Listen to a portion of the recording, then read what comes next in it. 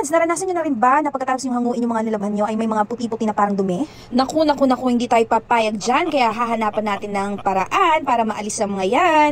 So, presenting DIY washing machine bleaching tablet. Only 63 pesos mga yads. So, hindi lang natin lilinisin yung loob, pati na rin itong sa labas mga yads. Tignan nyo, ang dumi na rin. So, medyo na-neglect natin itong ating washing machine. But today is the day.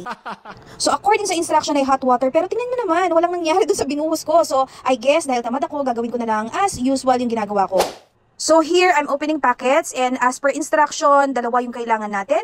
At dahil tamad ako, ay gagamitin ko yung Tub Clean feature ng aking Toshiba Great Waves Automatic Washing Machine and we'll just wait for 28 minutes. So, ayan na mga yas. And as you can see, malinis naman. So, ito na lang ang linisin natin yung sa gilid kasi yung ginawa natin kanina ay para lang sa drum. So, yan, linisin natin pati na po yung ah, gilid, yung harap, yung body. Wow.